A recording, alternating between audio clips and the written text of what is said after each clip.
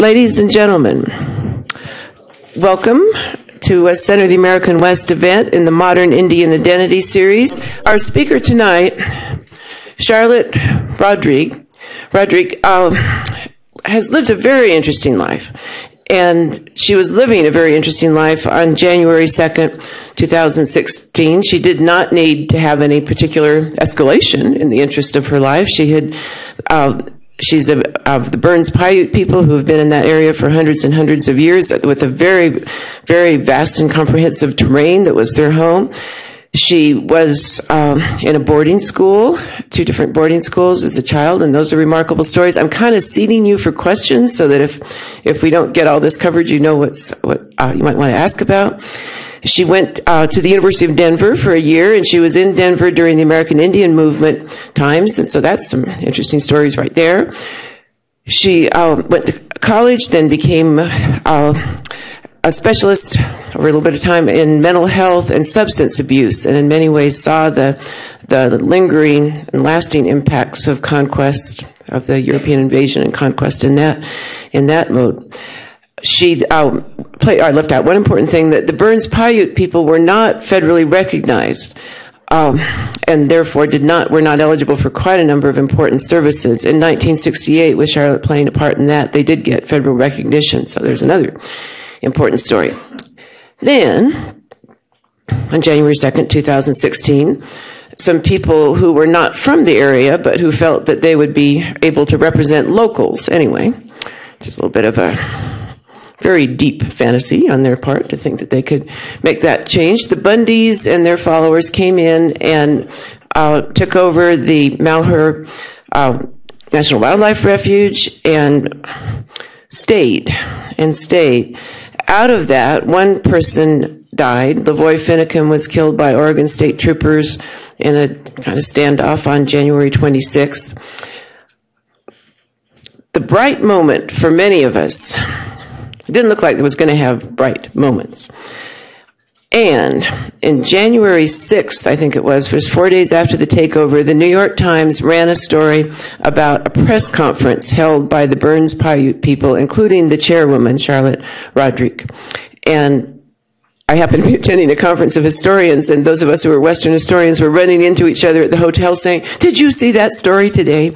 Did you see that wonderful occasion where this person stood up and spoke with great forthrightness and humor about the takeover? Um, and that was just a lodestone through the whole episode. So she has, um, was it eight years on the tribal council?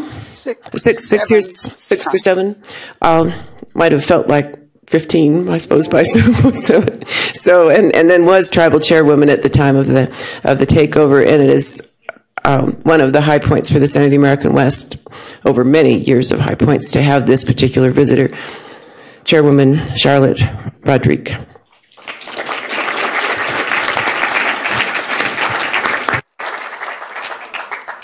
I appreciate the fact that um, everybody was able to come out this evening and you got perfect weather for being out and about in the evening, and I was really surprised by the weather.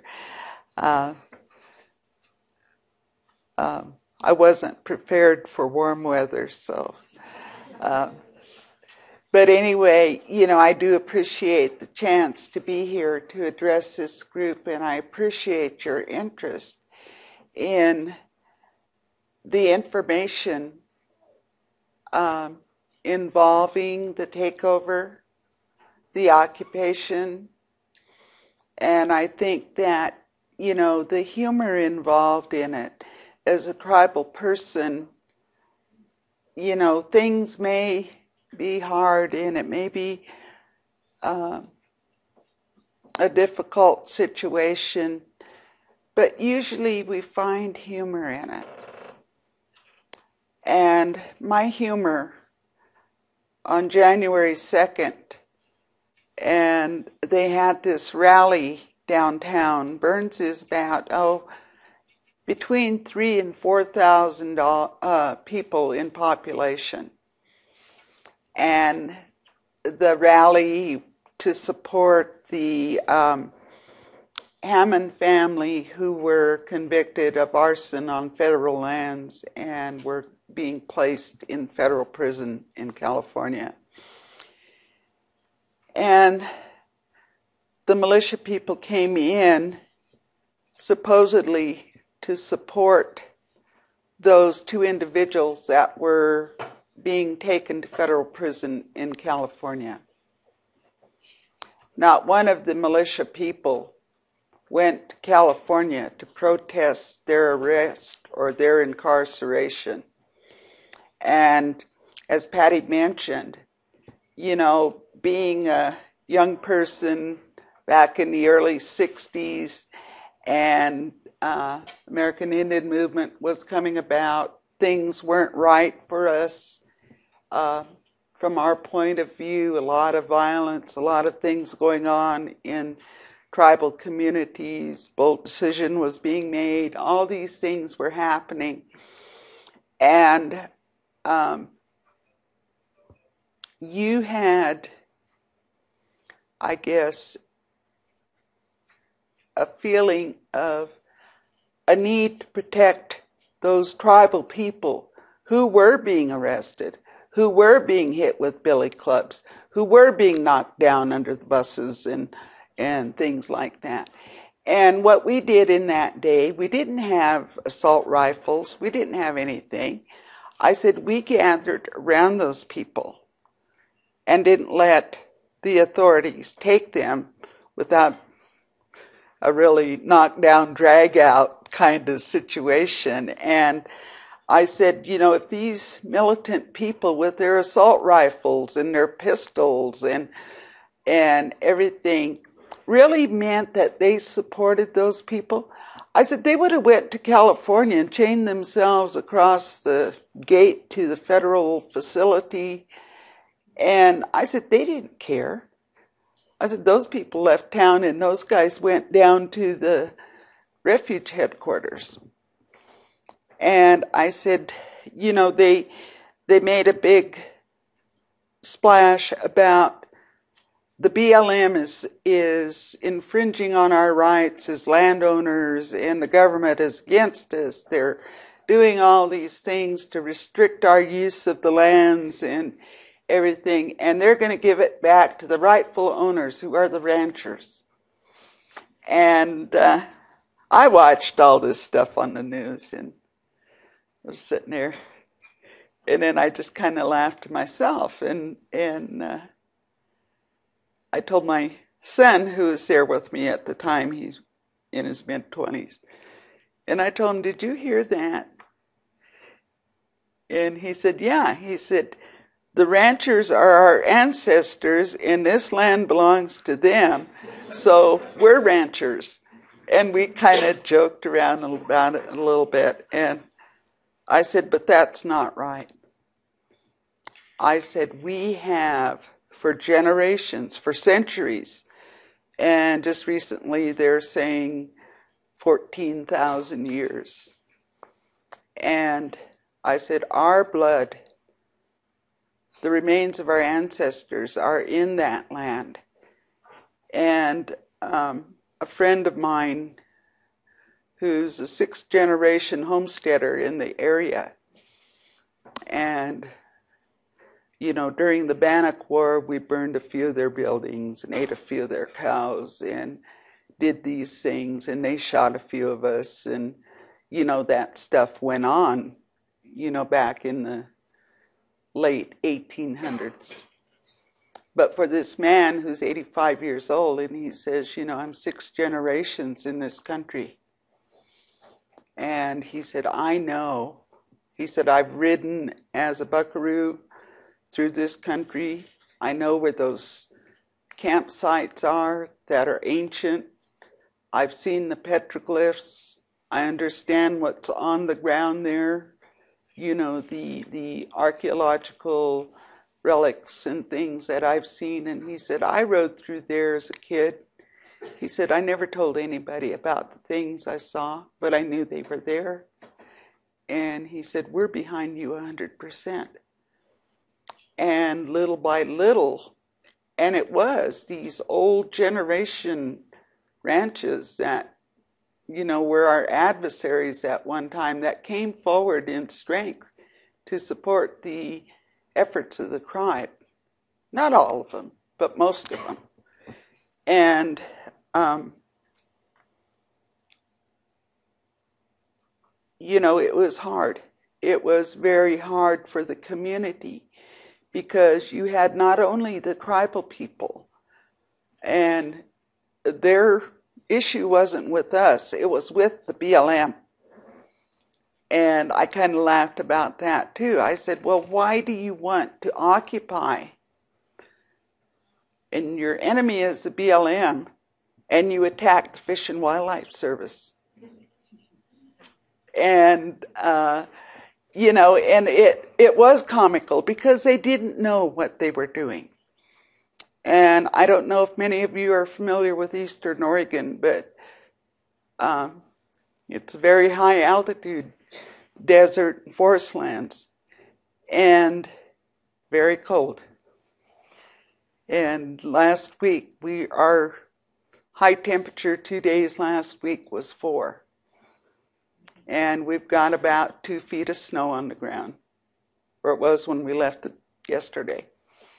And it's very cold. And to see these people, you know, they're all camoed up and they got all these guns and everything, and they don't realize that, you know, we're hungry, send us something, and they didn't realize the distance of the place they occupied from any place. There wasn't a Starbucks, there wasn't anything you know, convenient for them.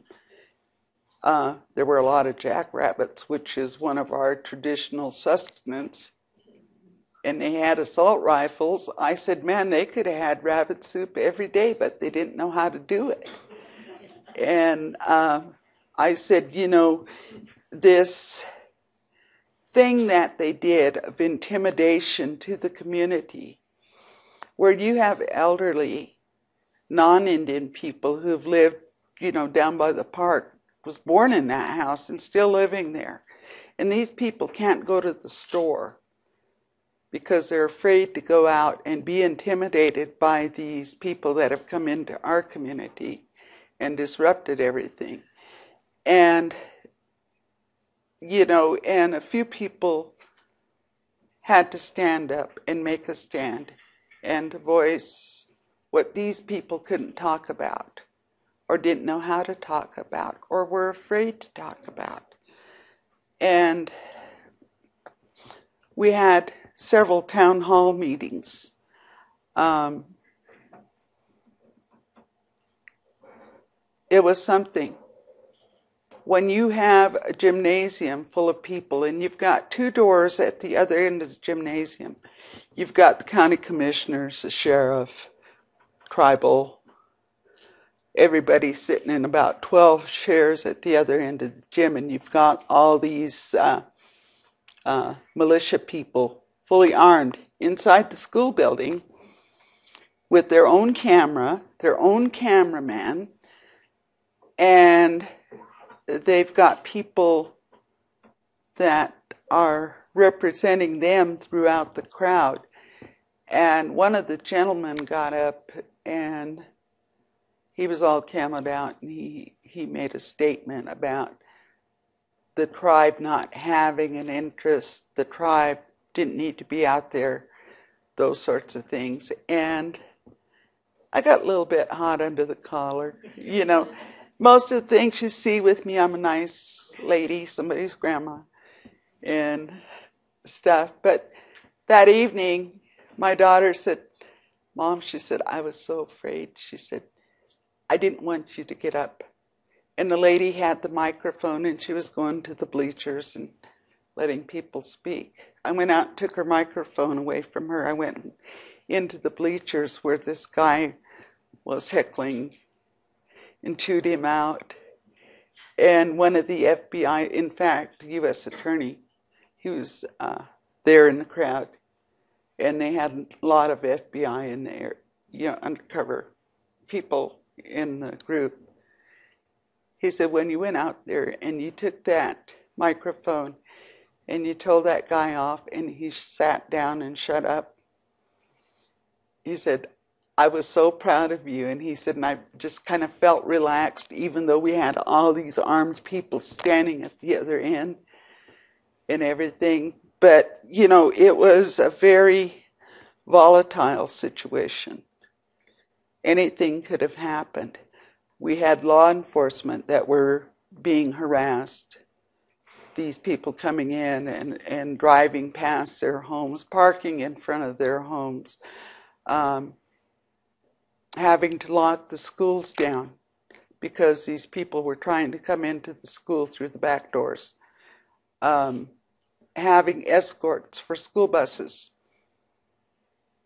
because you didn't know if I were an FBI agent or a county deputy and my children were on that bus.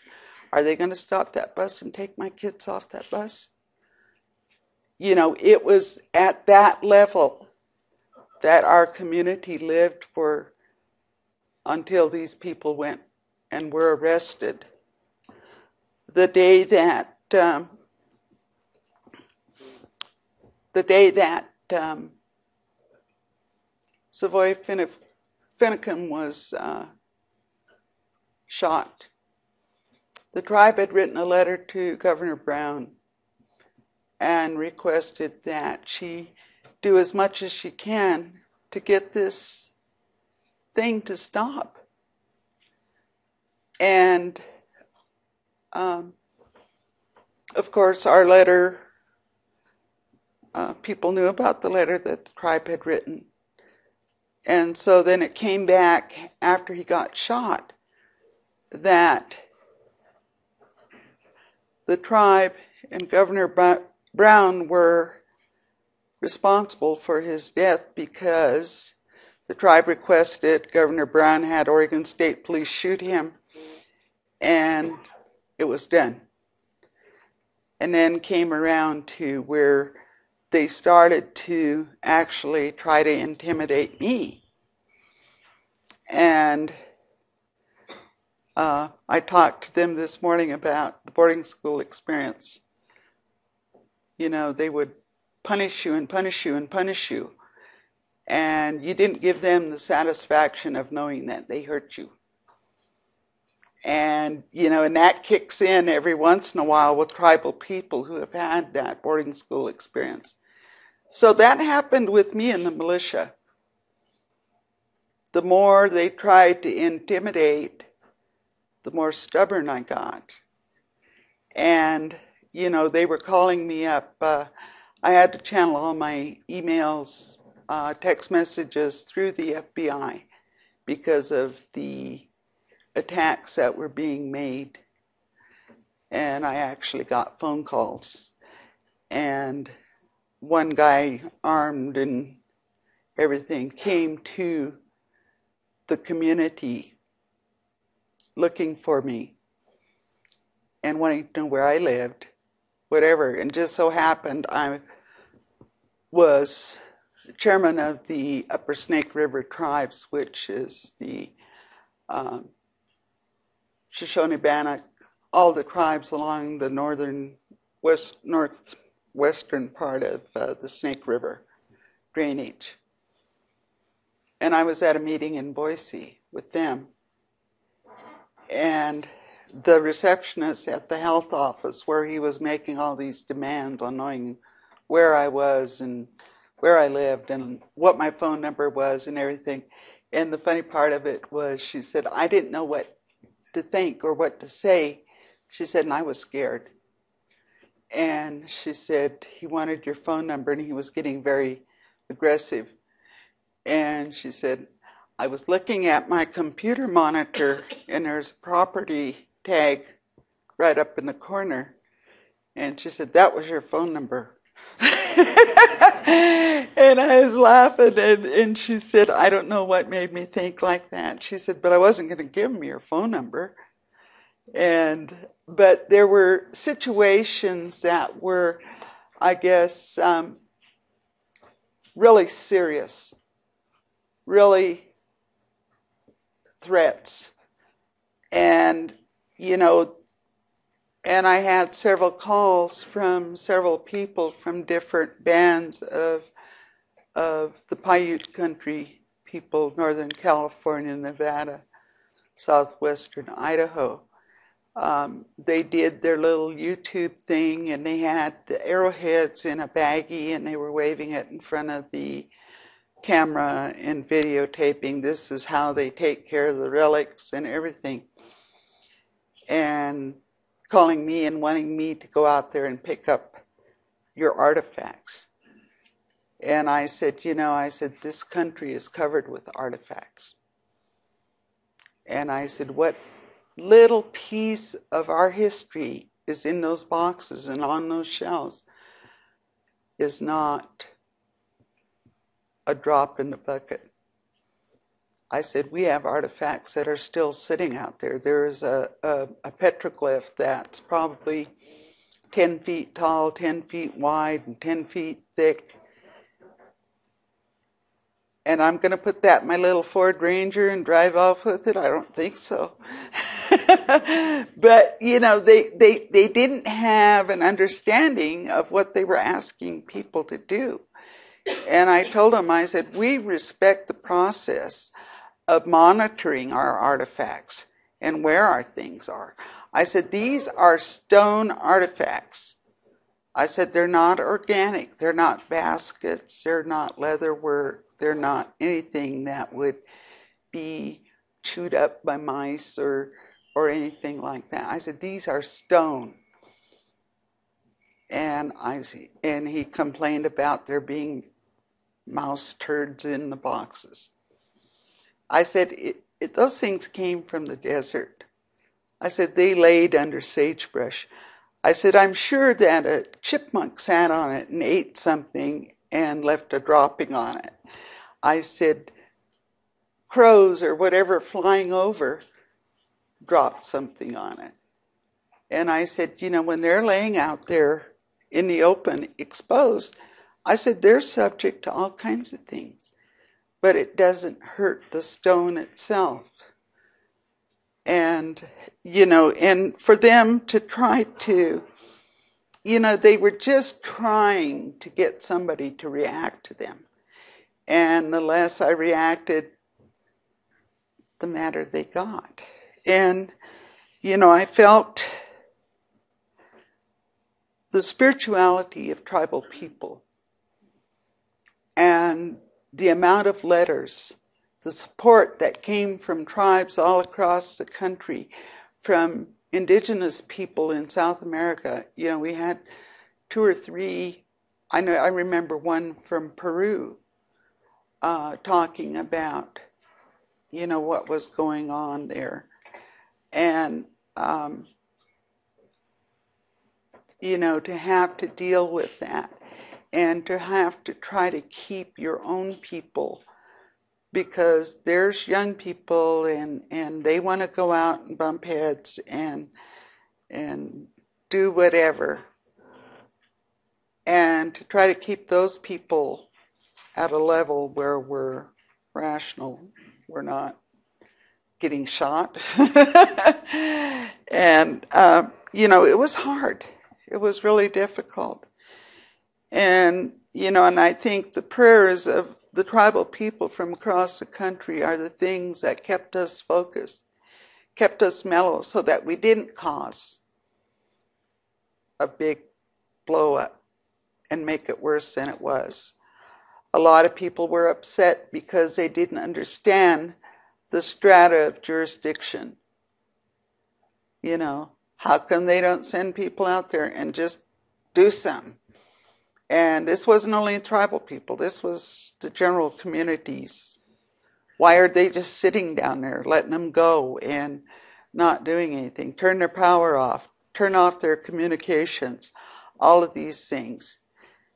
And then it, it got into if it was tribal people doing that, they would have been shut off a long time ago.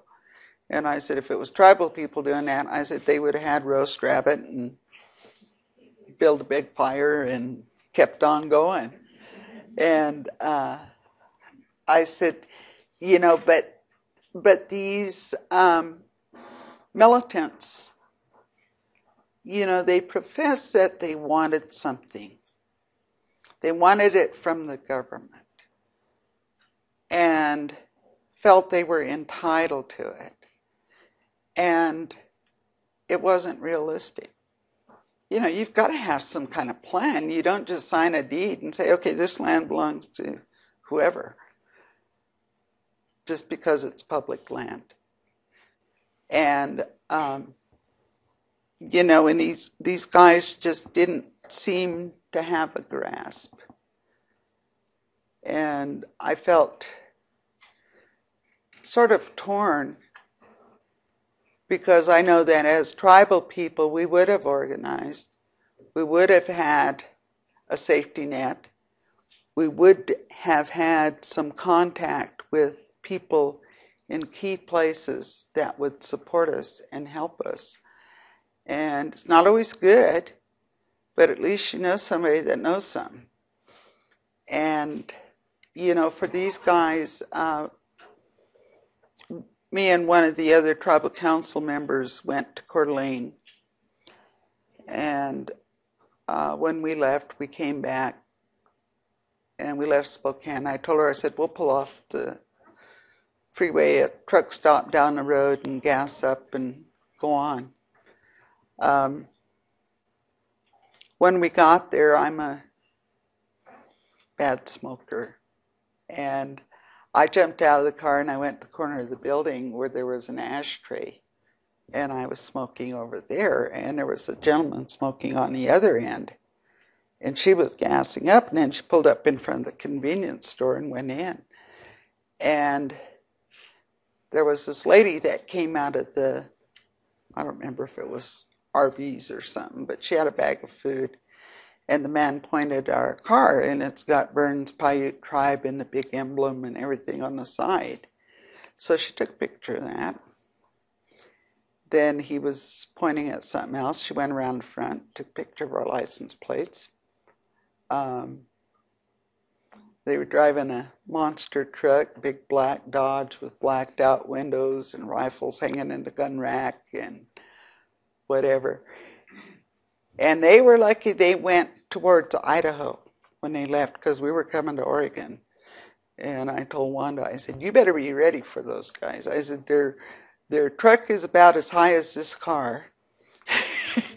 and I said, "You'll know when they come up behind you." And she was saying, "Don't say that to me." And I said, "You know, I said we don't know who's out there yet. We don't what, know what kind of people are watching and still have feelings about things. And I said, we have to be aware and we have to be in tune with our surroundings and everything. But I, I think that the community, uh, because we've worked a long time on community conservation plans, wildlife, uh, vegetation, all the things that matter in this world and trying to protect them and encourage uh, people to be concerned about our environment and to pay attention to things that are happening because of climate change. And I know that when I spoke earlier, I talked about the drying up of the marshlands.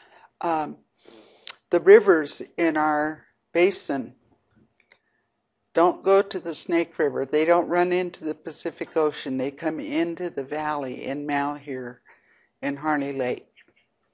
And there's no drainage any other place. So you have this big marshland in the southern part of the basin, and that's the wildlife refuge.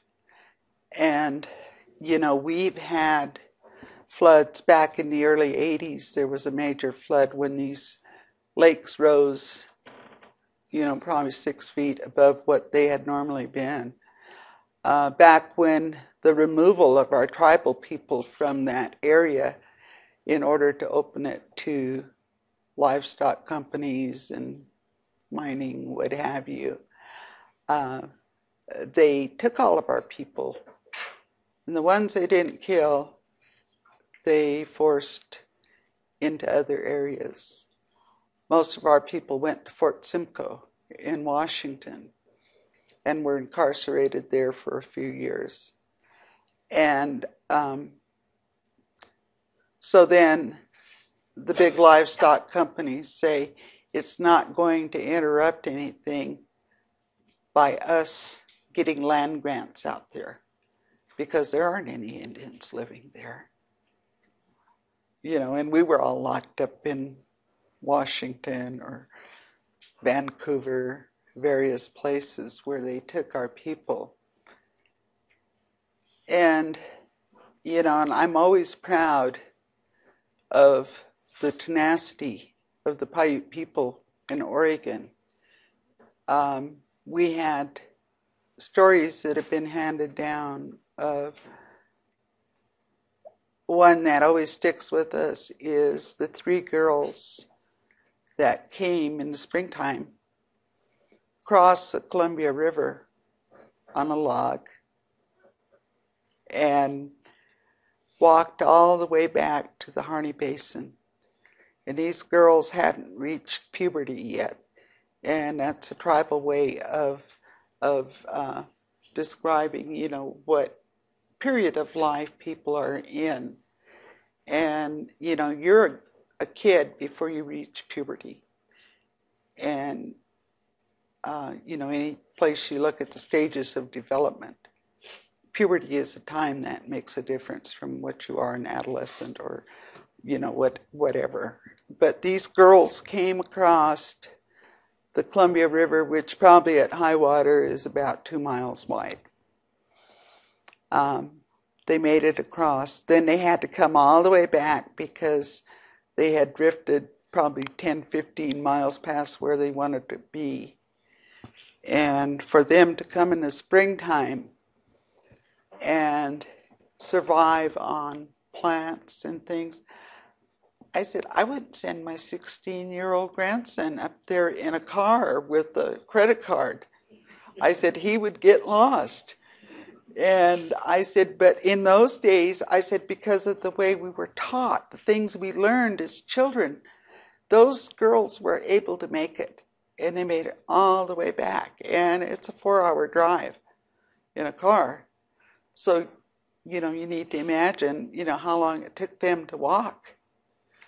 And, um, you know, and I, I, I really am proud of that ability, that strength that our people had and that desire to be in their homeland. Um, we had people coming out of the woodworks from all around, and and we're the descendants of those people that decided to come back to the Harney Basin to make their homes there, to live there in spite of all the animosity, the the lack of revenue, the lack of support um, we lived there for years and years and years. And like uh, Patty was saying, 1968, we became a federally recognized tribe. And I said, you know, there was no education assistance, there was no higher ed grants, there weren't any medical services, there wasn't anything for the Burns Paiute people. We identified as a tribe, and I said, I don't know how they put me in boarding school if they didn't recognize us, us as a tribe. Wasn't it kidnapping for them to come to my house and take me at five years old and haul me away and make me stay in a school that I didn't understand and and stuff. And I said, and then I said, they did recognize us. They recognized us enough to move us out of that area they recognized us enough to send us to boarding schools to do some of the things that uh, other tribes were doing, but we didn't have federal recognition. And I said, when it happened, uh, I was a young lady, I think I must have been about 21, working for the Burns Paiute Business Committee because we didn't have a tribal council, we didn't have a formal government at that point. And um, I was basically a transcriber and an interpreter.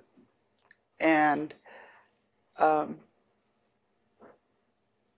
all of a sudden, you know, the subject of becoming a recognized tribe came up. It was something we had been talking about.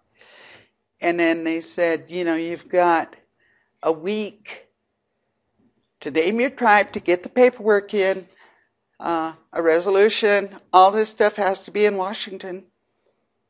And in those days, there wasn't, we didn't have fax machines. There's no internet, no scanners, anything. And the rush was on. And they said, Well, what, what are you going to be? And one of the Bureau officials that was there said, Well, you know, it's been the Burns Paiute colony. He said, We'll just call you the Burns Paiute tribe. So that's the way it went into Washington. That's the way it was published. And, you know, today we're known as the Burns Paiute tribe.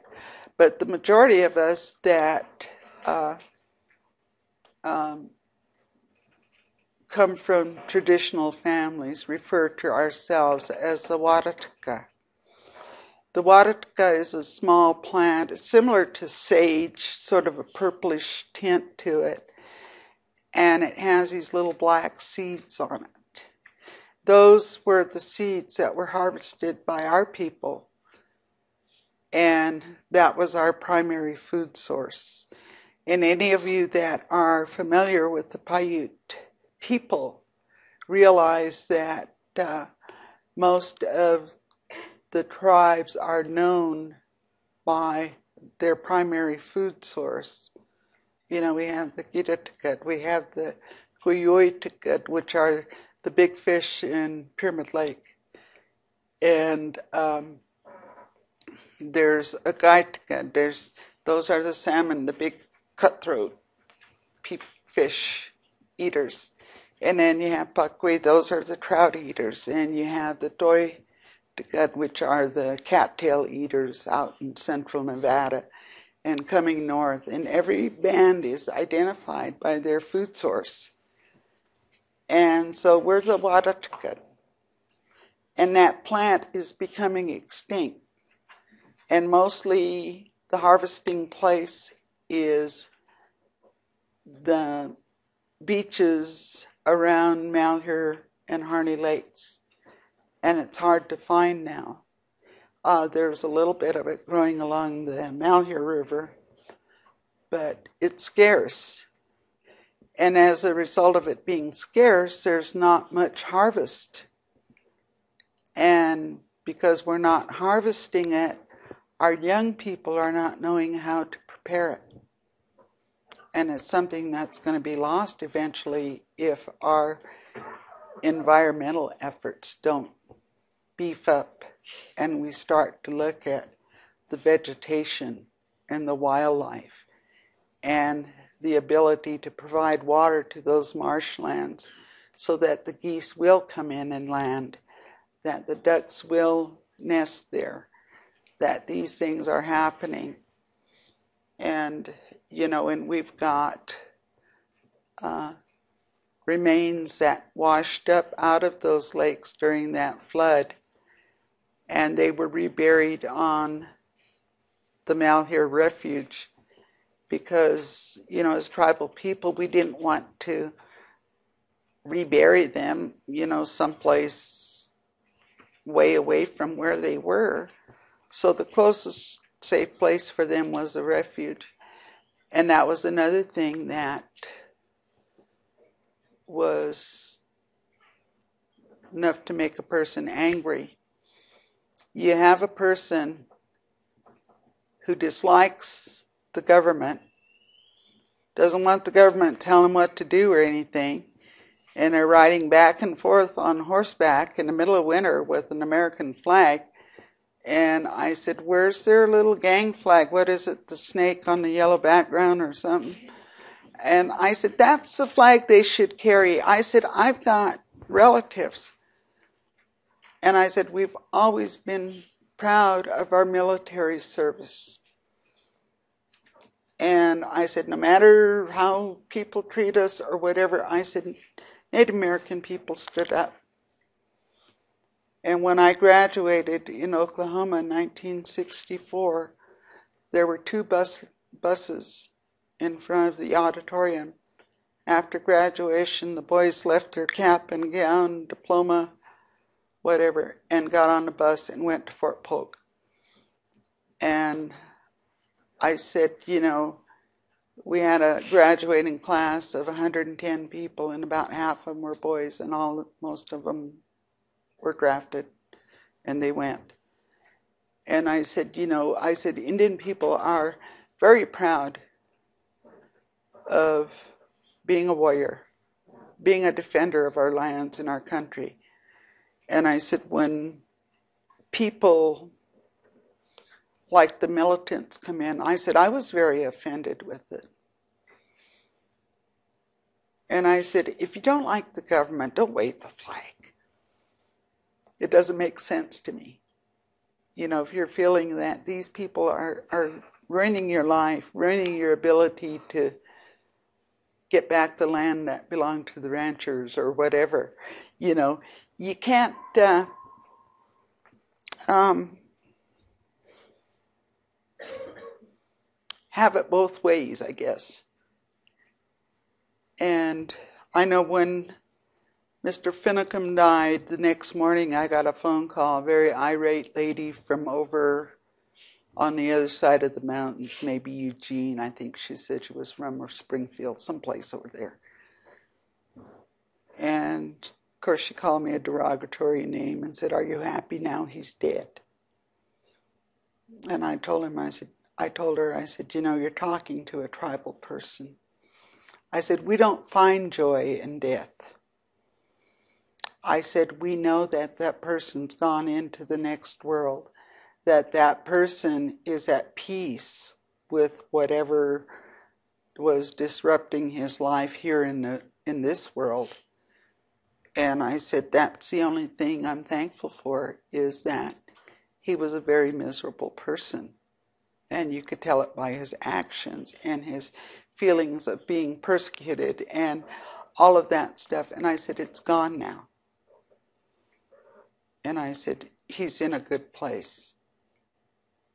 And then they came a couple days later, they put up this memorial and, and alongside the highway up in the woods where he was shot.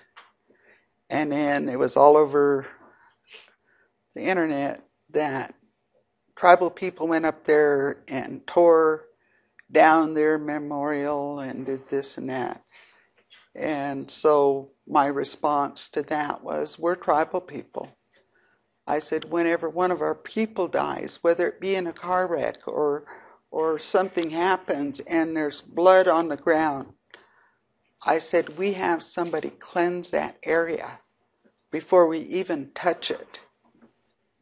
And I said, no self respecting tribal person would go up there in the middle of the night, three feet of snow, plus whatever the bulldozer, I mean, the road plows had piled up.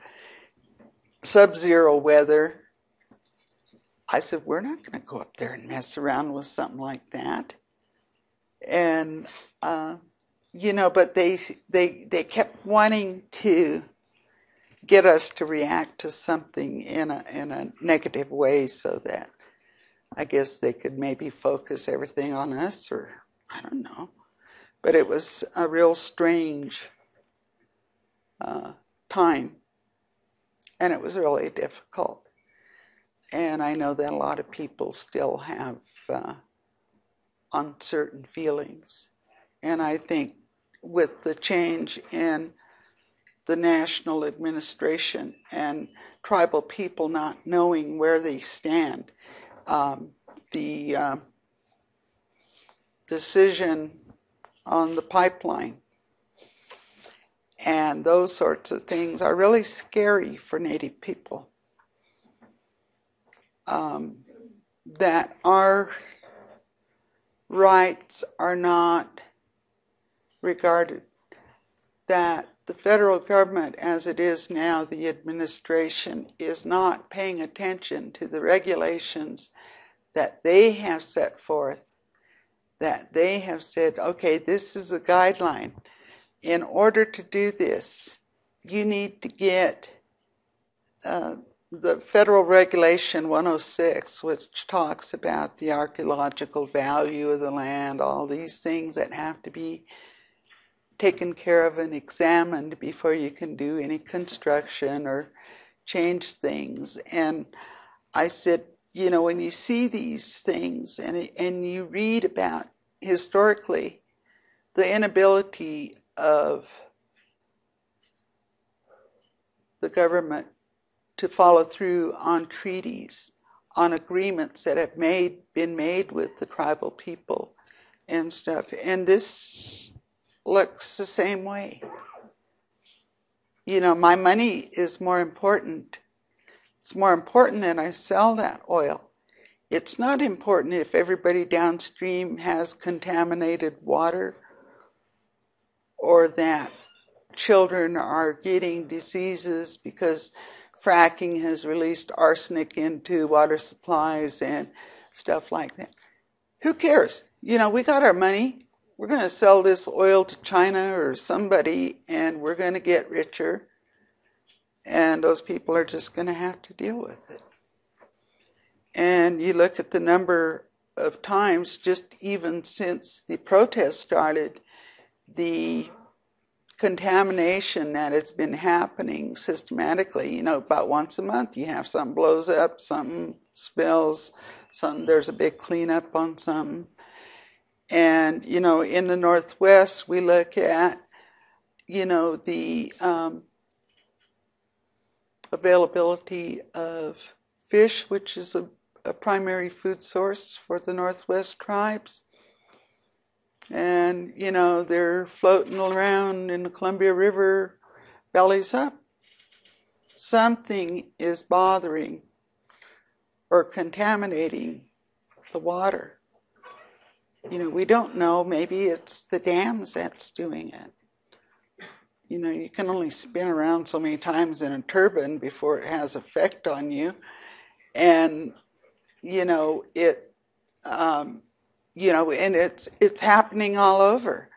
You know what happens at Hungry Horse Dam in Montana, and what happens to the fish that go up there to spawn, and they go down through the vortex and the sides of the dams, and they spin around and they spin out the other side. Then they head for Canada, and they're in Canada for a while, going through Canada's dams and we're paying Canada to block our water so that it doesn't flood Spokane or someplace like that. And uh, they're generating power, whatever, and we're paying them to generate power for Canada and stuff. And, you know, I've been involved with the Columbia River Treaty and uh, sat in on a lot of their meetings and the fact that when these Grand Coulee Dam, these dams were built back in the 40s, whatever, nobody cared about the environment. But now, when you come around and you're trying to get those people to include the environment in the renewal of the treaty, those sorts of things are very important and they need to be taken into consideration because there are going to be no fish any kind of fish.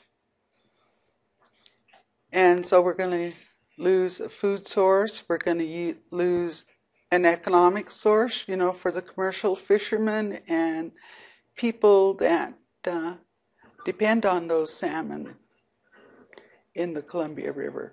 They're going to miss out. And, you know, and, and, and in this time, you know, the employment the economy is very important to some people. And regardless of the stakes, regardless of what the after effects are, we've got to make the money. And we're seeing the same thing in our area where the state of Oregon, the tribe had uh, the Allotment Association. Uh, we protested Oregon uh, division of lands because they were going to put three big 18 inch irrigation wells uh, in close proximity to tribal lands or tribal owner, owned lands. And uh, we got them to only put in one, which was okay, but but you know these 18 inch wells are sucking the water out from the people living on top of the land, pumping mud some places. Uh, we don't know what the aquifers are or how many layers of water there are under the ground. And the thing is, these people aren't feeding cattle with it. They're growing all this hay, they're packing it up and shipping it to China or someplace else. And none of these big hay producers own cows. And I said, I grew up, my parents worked uh, on ranches. My mom cooked for hay crews and buckaroos and everybody, and that was our life. I said, those people had a lot of land. And I said, the ranches grew hay. They kept the hay, they fed it to their cows, they sold their cows, they put up more hay the next year. And I said it was a cycle that I'm growing this hay to take care of my cattle so that I'll have an income and be self supporting. It wasn't, I'm going to grow all this hay and sell it to so and so over here and make a profit.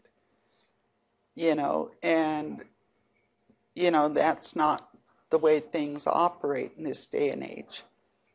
And, you know, it's sad to see that lifestyle go by the wayside and that people are greedy and looking at their bank accounts rather than what's happening to the land.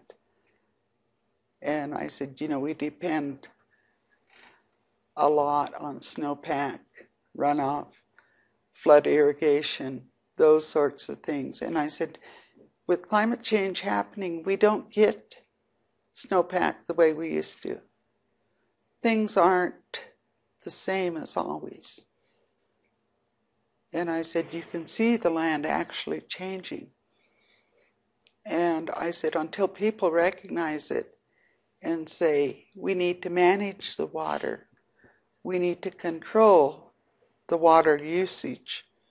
And I, I belong to the Harney County Water Planning uh, group, and it's a real a real problem. And you know, the more I'm involved with that, the more I'm learning about the water and how important it is. I know it's important. It's important to me as a tribal person. Um, but you know, it it just you know, I'm I'm so glad that there are so many people here because it's not always easy to let people know I'm a tribal person. I have tribal interests in climate change. I have tribal interests in the environment. And it says down here to speak for the water, the plants, the wildlife, those sorts of things. In uh, traditional prayers, a lot of times when you listen to these prayers, the the person that's leading the prayer will will talk about the feathered the animals that live in the water. All of these things are covered in these prayers. And that you know the the water the soils the vegetation is there to keep these animals and everything alive but uh, I'll kind of leave it at that, I think, uh, and give people time if there's questions or anything that you have an interest in or would just like to know whatever, you know, I'm, I'm willing to share what I can with you.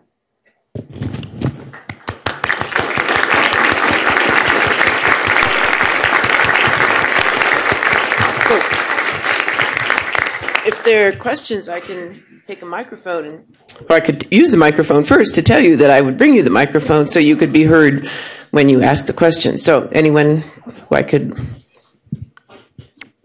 bring this to? Any questions? Okay, good. I'm very nimble. I'll be there very fast.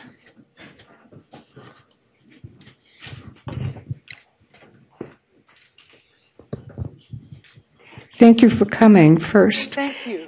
And I'm wondering, because we are in a very divisive time within our nation, do you see that this is perhaps uh, a forerunner of other kinds of actions that are going to happen?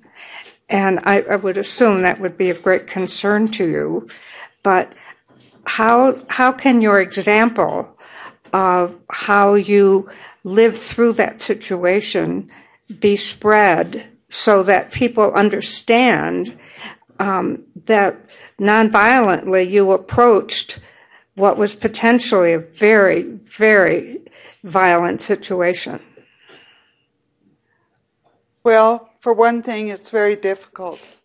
It's very difficult to take a whole community of people who are being uh, threatened and with violence and to keep them calm and to keep them focused on we don't need to do that. You know, we have the spirituality, we have the support of a lot of people. And, you know, that empowers us.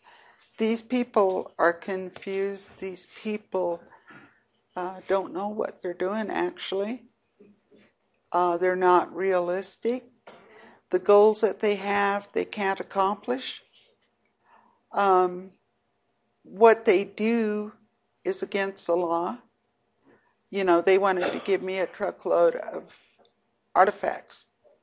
If I had taken those artifacts and there was no chain of possession recorded in accordance with the regulations, I would have been just as guilty as they were.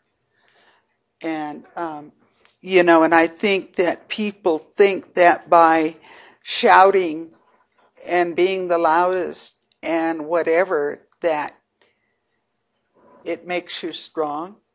It doesn't. You know, and I think that tribal people recognize that. You know, we need to be consistent and resistant but we don't need to go out and shoot anybody or to confront them. You know, we we spirituality, I think, is what really carries us through. And um, when the occupation was over, uh, we had a healing ceremony, and we called and notified people, "Come in. We're going to do a sunrise ceremony." To cleanse the area of the wildlife refuge from the spirit that was there when the militia was there. And um, it had rained probably nonstop for two weeks. The morning of the sunrise ceremony, it was cold. It was so cold and windy, but there was a sunrise and the sky was clear, everything. Uh, one of the young men that was in attendance, they were, they had uh, finished the ceremony, and at the end they were offering the last prayer song. And it kind of went like that to me and pointed up. There were six eagles in the sky. And they were so high up that you could just barely see them, and they were circling. And they came down close. And two of them stayed at the tower. The other four took off in different directions across the marshes, the flatlands, everything. And it's probably a, a good 20 miles across. And by the time that that song had finished, uh, they were back and they were sitting in the trees above the where the drum was. And I said, you know, I said to me and to any, and we had a lot of tribal people there. Um, I said, it's a good sign. Our prayers are heard and something's going to happen. And, um, you know, we, we were able to reconstruct and, and, uh, work with the uh, fish and wildlife people to restore you know, some organization to the facility and stuff. And, and, you know, and I think it's really important that we, as people, have faith, no matter what your beliefs are or, or whatever, um, just have faith that there is a power and it gives us guidance. And we're going to be strong together. And it doesn't matter if you're a tribal person or what you are, we're going to be strong and we're going to overcome these deficiencies in the way things are handled, the way the country is going, the uh, events that come up. And, you know, and I think our biggest struggle right now is to maybe we won't get anywhere with the pipeline, but it's something that people are aware of. And you know is is tribal people the environmental people people that care about the country and the plants and whatever you know we're going to be strong because i think our focus is right. You know we don't want to see all the salmon die. We don't want to see moose and whatever die for lack of feed because somebody sprayed everything with some chemical or some chemical spilled and it couldn't grow anymore or something. And it's something that affects everybody in this country. It's not just the tribal people. And I, I like to think that as a tribal person and growing up back in the 40s when people were more traditional in their beliefs and stuff, and the things I did as a, as a child, you know, I'd go out in the marshes and I'd make a, an egg basket out of tules. And it's just a little quick thing you kind of weave up and it makes a little bag and you carry it along and you go through the marshes and you find duck nests and there might be three or four eggs in there. You take one, and we were always told you only take one. You leave one to grow you leave two for the predators, maybe the raccoons or somebody's going to come along and eat those baby ducks. But one of them's going to survive. And those are our ducks for the next year. And that you respect that. And you don't get greedy and go in and say, hey, I found four eggs and take them all. And the mother comes back and there's no babies or no eggs. And you know, and the way we do these things, you know, there's things that uh, are going on right now. Jackrabbits, another one of our primary sustenance.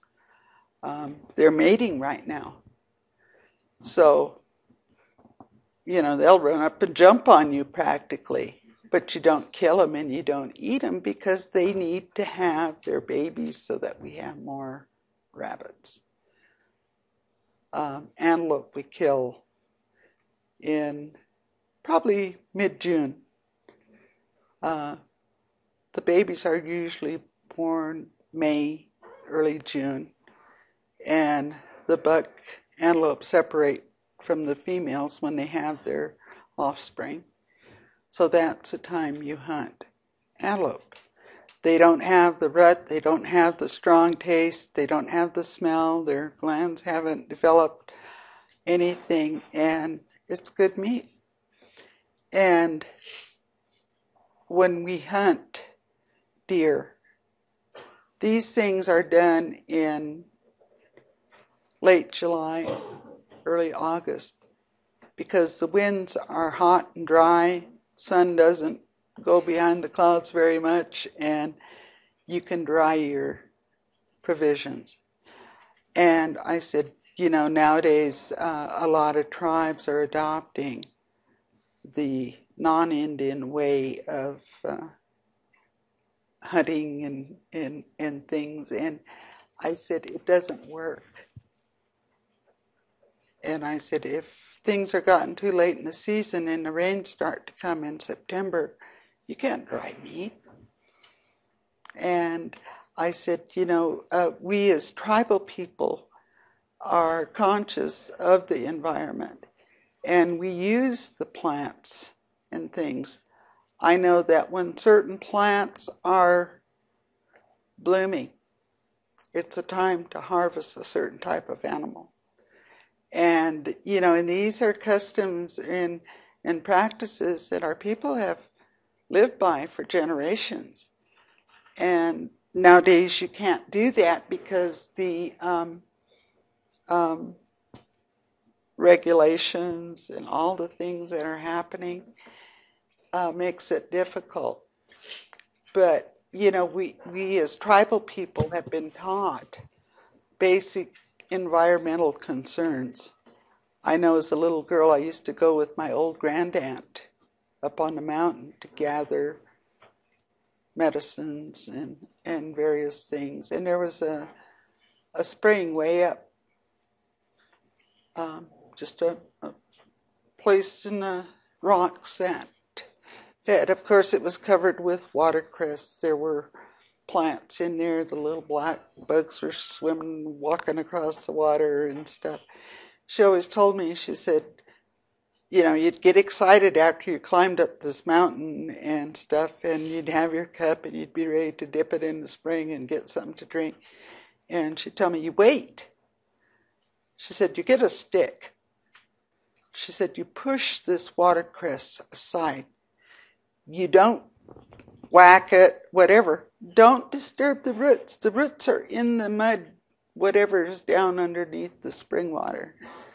And she said, Once it separates and you haven't disturbed it, dip your cup in there and get water. But, you know, you were always excited about doing something, but there was always somebody to tell you, we don't do it that way. You know, you pay attention to this. Don't pull those plants out and kill them. Um, you know, you, you pay attention to what's going on around you. Any more questions? Or? Maybe um, one, and then I'm hoping that you'll hang around a little bit afterwards for individuals who might want to chat with you, but we'll get one more question here from uh, where have you gone? Oh, there you are. okay. I was just wondering if during the occupation, um, if I know you said that sometimes you got really heated. I was just wondering if there were any like younger people of the younger generation that you ever had to like calm down or like talk some sense uh, into? A lot of them wanted to react.